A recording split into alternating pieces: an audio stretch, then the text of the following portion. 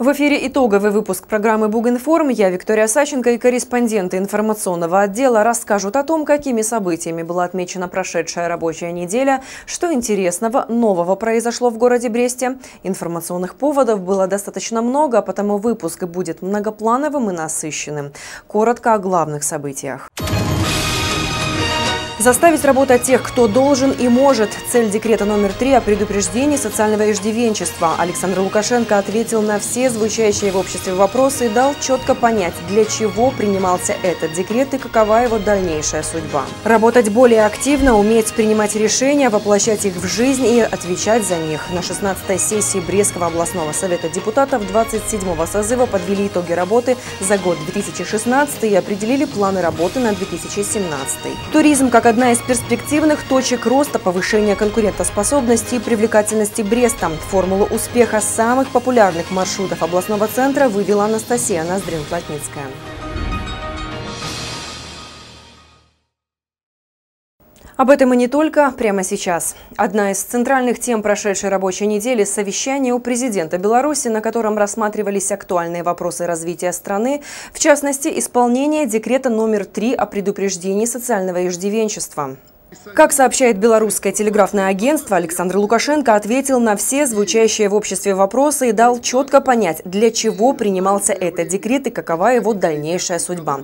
Документ, подчеркнул глава государства, отменять не будут, но подкорректируют, а также более принципиально и тщательно подойдут к формированию списка плательщиков. Декрет не является экономическим и финансовым. Декрет номер три, который кто-то сами они объявили э, и обозвали его как декрет о тунеядцах, декрет номер три о социальном иждивенчестве, это идеологический, моральный декрет. Никаких там больших денег государство не получит. Целью этого декрета является одно – заставить работать тех, кто должен и кто может. По словам Александра Лукашенко, сообщают корреспонденты Белта, принятие декрета встряхнуло все общество. Этот документ показал, кто есть кто. Люди начали трудоустраиваться, искать работу. Количество обращений в службу занятости резко возросло. Люди поняли, что надо регистрироваться и искать работу, констатировал белорусский лидер. Резко замедлилась текучесть кадров на предприятиях и в организациях. Люди начали, наконец, ценить свое рабочее место. По сути, была проведена своего рода перепись населения. Создает создается реальная информационная база, списки занятости населения. Это плюсы. Минус во всем этом процессе – несогласованность действий чиновников, которые переложили исполнение на налоговые органы.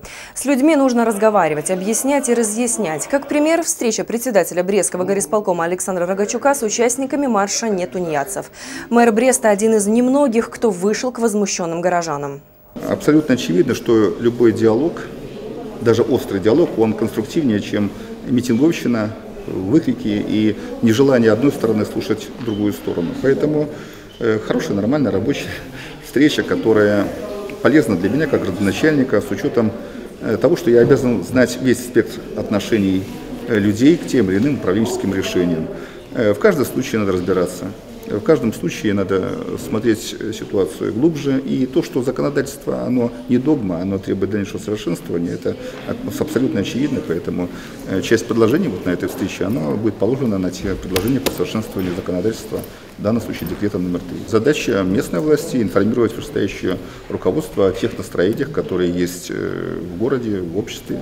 И встреча очень полезна. Я благодарен брещанам именно брещанам, которые здесь пришли, за конструктивный, нормальный, критичный к власти, наверное, нормальный Наверное. подход. Поэтому это абсолютно нормально. Критиковать власть – это тоже нормальное состояние. Много полезных тем, потому что на самом деле люди не понимают, откуда что-то берется. И тема городского бюджета, тема формирования бюджета, эта тема тоже должна быть прозрачной для наших горожан. То есть они должны понять, откуда они получают зарплату, откуда у них должны быть дороги, какой общественный транспорт должен ходить, где вообще берутся троллейбусы, кто за них платит, э, где и как финансируется медицина. Поэтому нормально. Здесь тоже надо, такая встреча, она полезна и для меня, но и для людей. Как итог, Александр Лукашенко поручил к 1 апреля определить списки тех, кто должен вносить платежи на основании декрета номер 3. Второй этап – 1 октября 2017 – дошлифовка базы. Также президент озвучил следующее решение. в течение года 2017 не взыскивать социальных иждивенцев, так называемых, по которым мы списки в первом квартале составим, не взыскивать с них этот налог. Кто оплатил в 2016 году, пойдет за счет 2017 года, если он не будет работать. Если он поступит на работу, мы из бюджета вернем ему эти деньги при его требовании. Вы меня поняли? В первом квартале мы имеем списки у каждого главы администрации города и района. И по этим спискам начинаем заставлять людей работать. И тот, кто не будет работать, через год, ровно через год, к 1 марта, должен будет нести эту пошлину.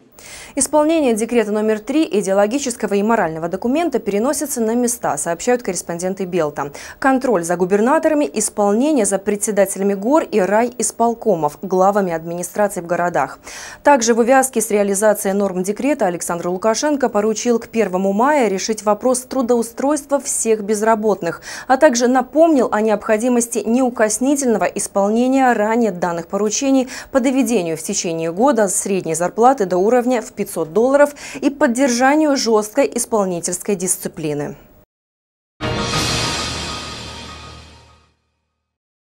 Вы смотрите итоговый выпуск новостей на канале Бук ТВ. Продолжаем разговор на актуальные темы. 16-я сессия Брестского областного совета депутатов 27-го созыва состоялась накануне в городе над Бугом.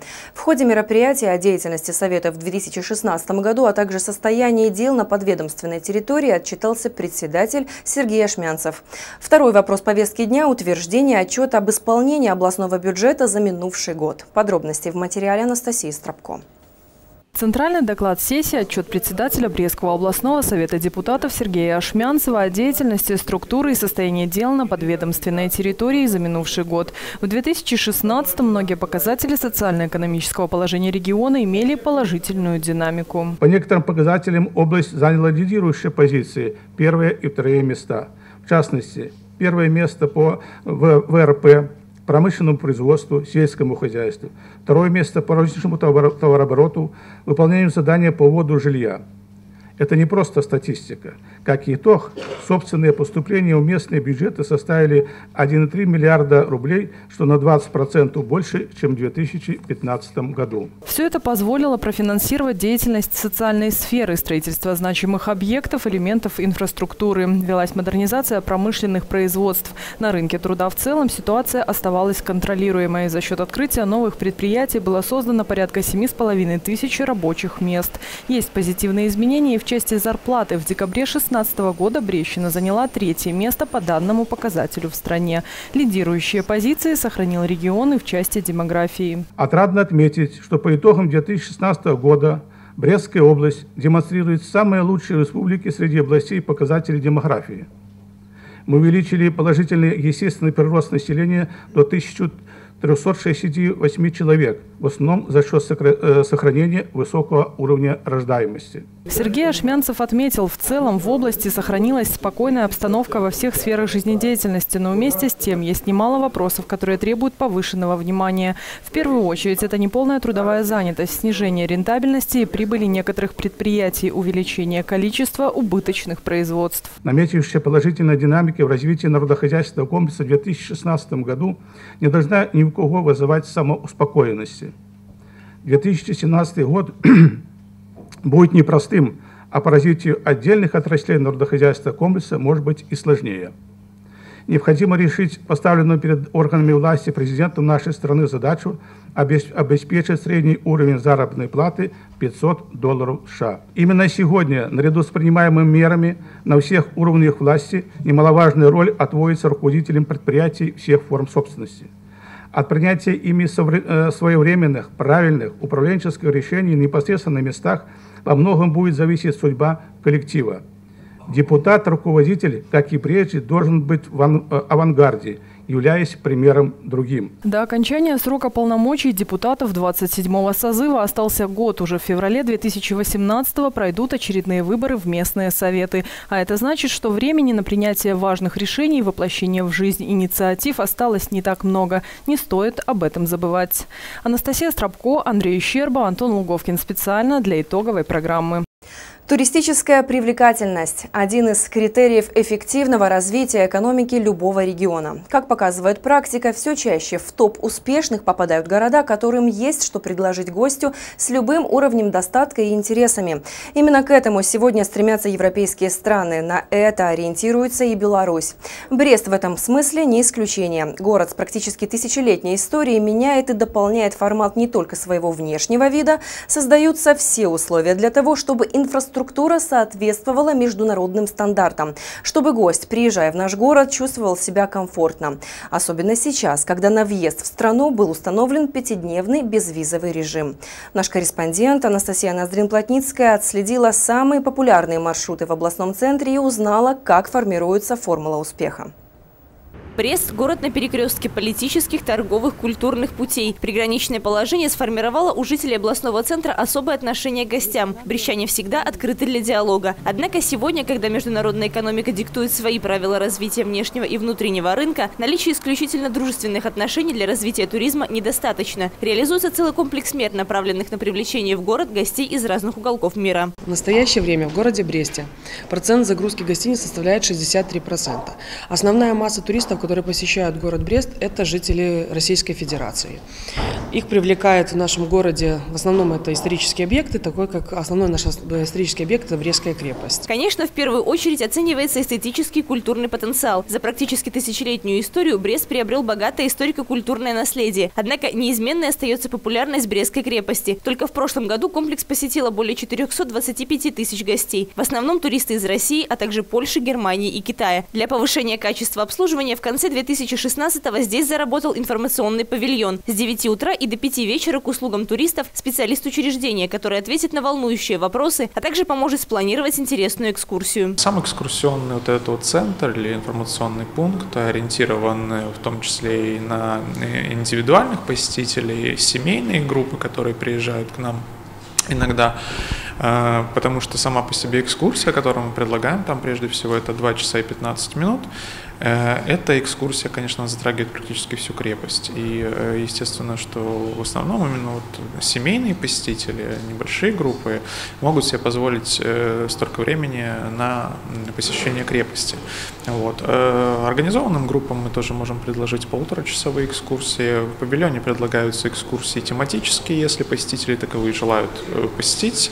В частности, например, экскурсия на пятый форт Брестской крепости может начаться прямо оттуда от стоянки. Второй элемент успешного развития потенциала – условия проживания. Экспорт туристических услуг в городе оказывает 10 крупных предприятий. В числе лидеров знаменитая гостиница «Брест Турист», само название которой давно на слуху у ценителей качественного и комфортного отдыха. К слову, по итогам года именно «Брест Турист» смог выйти на серьезные показатели по рентабельности, и это оправдано. Удобное месторасположение, качественный сервис и доступные цены – вот составляющие успеха предприятия.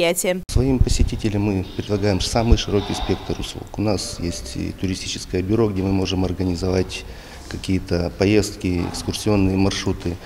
Э, предлагаем услуги наших э, мастеров-переводчиков. У нас самый, опять же, широкий спектр э, языков, начиная от молдавского и заканчивая более распространенными, такими как английский, французский, немецкий.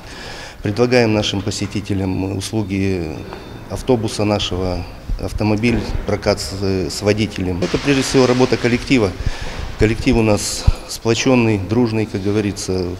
Остались именно те люди, которые хотят работать, знают, как работать и видят перед собой какие-то цели, мы их ставим, пытаемся выполнять, поэтому как-то вот так и движемся. Привлекает не только туристов, но и профессиональных спортсменов Брест хорошая материально-техническая база профильных учреждений. В городе проходит большое количество первенств и соревнований разного уровня. Здесь же реализуется и подготовка ряда команд, в том числе и из-за рубежа, что также является слагаемым успешного экспорта услуг. На базах наших спортивных сооружений, основных Дворца водных видов спорта, Грибного канала, проводят свои э, сборы национальные команды России, национальная команды Малайзии.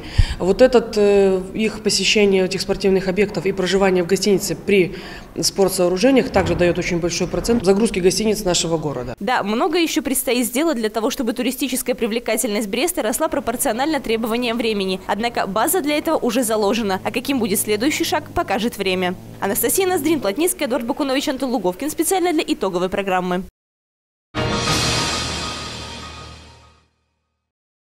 А сейчас о других событиях и мероприятиях. Накануне одна из самых массовых общественных организаций Московского района города над Бугом отметила свой 30-летний юбилей. Речь идет о Совете ветеранов. Сегодня это большая и дружная семья, слава и гордость города, обладатели лучших человеческих качеств. За 30 лет своего существования организация не изменила и продолжает сегодня придерживаться принципов, канонов и традиций, заложенных еще в 1987 году, когда в Беларуси на начало формироваться ветеранское движение, и город над Бугом активно присоединился к инициативе. О том, как отметили свой 30-й день рождения представители старших лет, подробнее в следующем материале выпуска. До начала праздничного концерта в холле Дворца культуры профсоюзов шумно и многолюдно. Именинники, их родственники, близкие, коллеги, люди с разными судьбами, историями жизни, разных возрастов и взглядов собрались вместе, поскольку едины в одном. У них общая система ценностей, помыслов и желаний.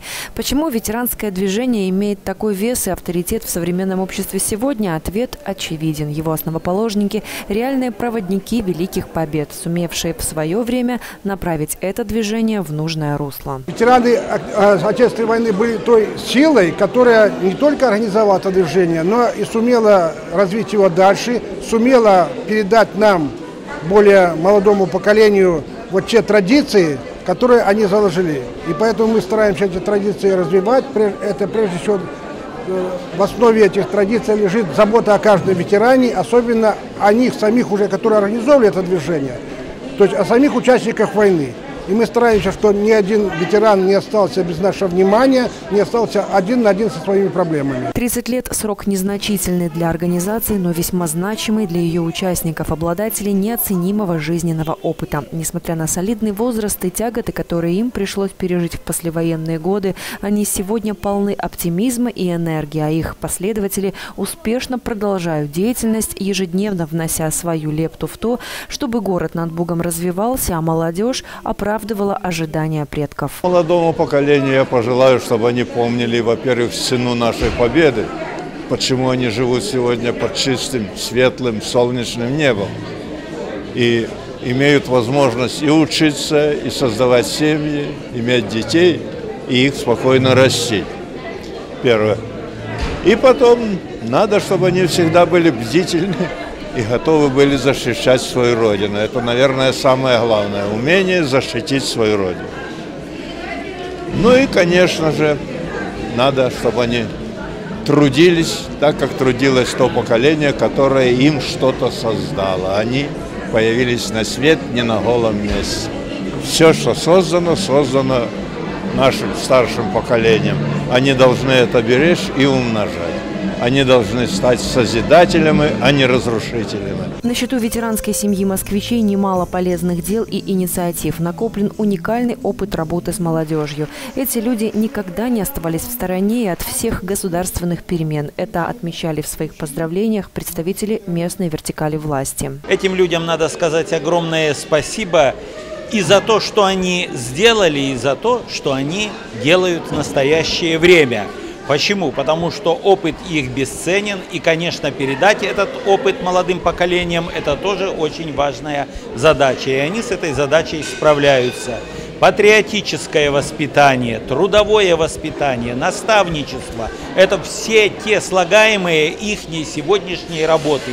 Ну и нельзя не сказать, конечно, об активнейшей жизненной позиции ветеранов – не только Московского района, но и всего нашего города. Праздничный концерт в честь дня рождения Брестской ветеранской организации Московского района прошел с настоящим аншлагом. Желающих поздравить именинников собрался полный зал. Юбилей прошел с задором, весело, с доброй энергетикой и, как полагается, с размахом. Девятая отчетно-выборная конференция состоялась накануне в Брестском государственном техническом университете. На повестке дня ряд вопросов, в их числе выбор нового секретаря первичной организации общественного объединения БРСМ вуза, а также курса развития на ближайшие несколько лет. О главных тезисах открытого диалога, о планах и перспективах Анастасия Ноздрин-Плотницкая расскажет подробнее. Отчетно-выборная конференция – это одна из форм работы первичных организаций в структуре городских и областных комитетов БРСМ. Как правило, во время подобных открытых диалогов обсуждаются насущные проблемы объединения, а также определяются задачи для дальнейшего развития структуры. Именно об этом шел разговор в стенах технического университета. Конечно же, мы сохраняем основные приоритетные направления деятельности, утвержденные 42-м съездом общественного объединения. Это и работа по патриотическому воспитанию молодежи, вторичная занятость молодежи, это вопросы поддержки поддержки инновационной деятельности и много-много иных направлений, которые на сегодняшний день успешно реализуются Союзом молодежи. Современная первичная организация БРСМ – это структура, позволяющая молодым людям определяться со своими целями на будущее. Ребята, которые однажды связали свою жизнь с этим объединением, как правило, активисты в своих коллективах, интересные и интересующиеся личности, открытые к покорению новых горизонтов и вершин. Их не смущают трудности или преграды. Главное – верить в свой успех и не останавливаться на полпути. Вот девиз БРСМовцев. Социальные и благотворительные миссии, студотрядовское движение, городские и областные праздники праздники. Юноши и девушки всегда в центре событий. И очень важно содействовать им в реализации такой активности. Эта задача легла на плечи нового секретаря первичной организации БРСМ Технического университета. Им был избран Евгений Кузьмич. Волонтерство у нас является приоритетным направлением, потому что с каждым годом волонтеры развивают для себя даже новое направление. Это экологическая акция. И вот с прошлого года помощь для э, бездомным животным, приюты для животных. Э, кроме того, это трудовая деятельность, э, поиск вакансий для студентов, потому что желающих трудоустроиться много. Кроме того, технический университет стал одной из площадок для проведения новой республиканской акции БРСМ. В сквере вуза были размещены скворечники для птиц с символичными надписями «Прилетайте в Беларусь». Акция стала своеобразным призывом для иностранных гостей приезжать в нашу страну. А вот первые перелетные гости птицы займут новые дома совсем скоро. Беларусь страна гостеприимная, более 80 стран имеют возможность без визы посетить нашу страну, познакомиться с ее культурным и духовным богатством, ознакомиться с теми достопримечательностями. И э, молодежь нашего города, члены первичных организаций, в частности, средней школы номер 26, э, иных первичных организаций приняли активное участие в изготовлении так называемых скворечников. Анастасия Ноздрин, Плотницкая, Денис Величкевич, Антон Луговкин. Специально для итоговой программы.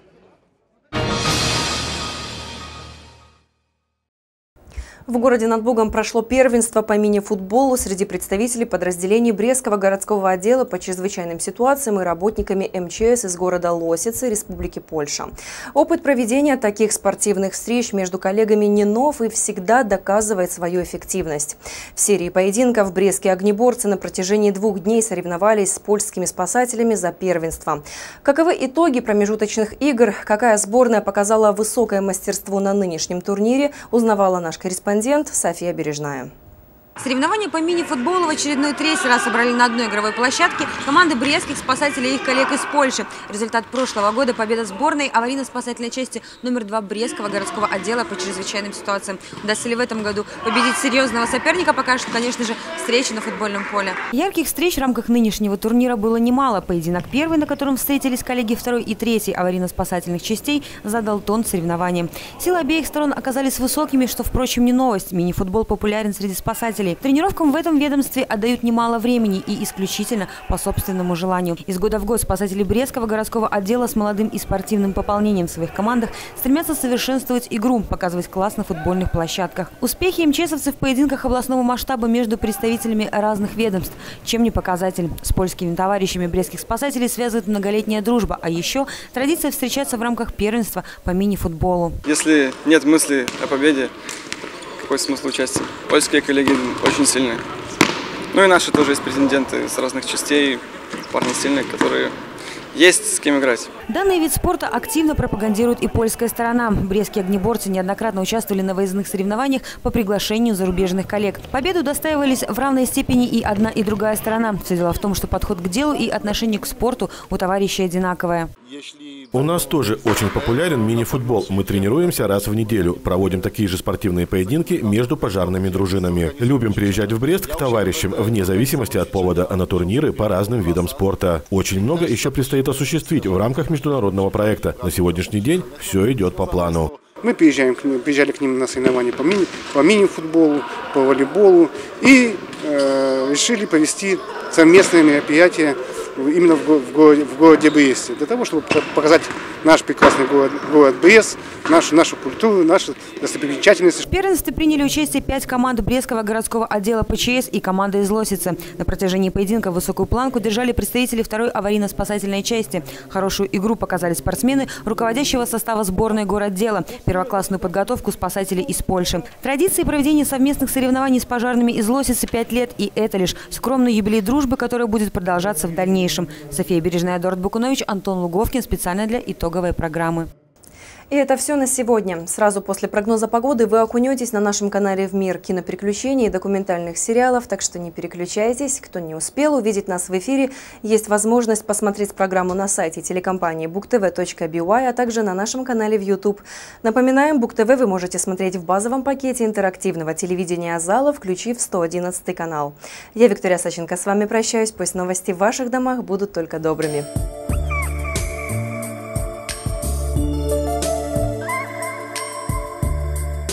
12 марта погоду в Бресте будут определять фронтальные системы, медленно смещающиеся с юго-востока на запад республики. Брещан ждет пасмурная, сырая погода, но без осадков. Лишь к вечеру возможен кратковременный дождь.